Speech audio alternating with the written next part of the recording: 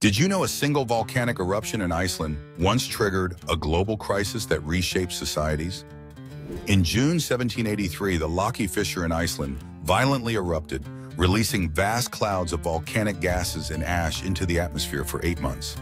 This wasn't just a local disaster. The effects rippled across the entire northern hemisphere.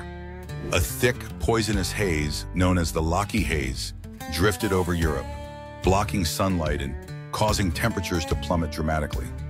Crops failed on a massive scale, livestock perished from toxic air and contaminated grazing, and famine spread from Iceland to France, Britain, and beyond.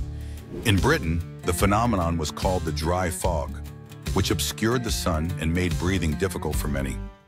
The resulting food shortage, shortages led to thousands of deaths and contributed to widespread social unrest.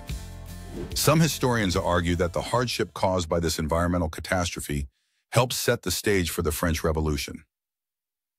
The Laki eruption is a powerful example of how natural events can disrupt ecosystems, economies, and political landscapes. Fascinated by stories like this? Follow and subscribe for more mind-blowing history you never learned in school.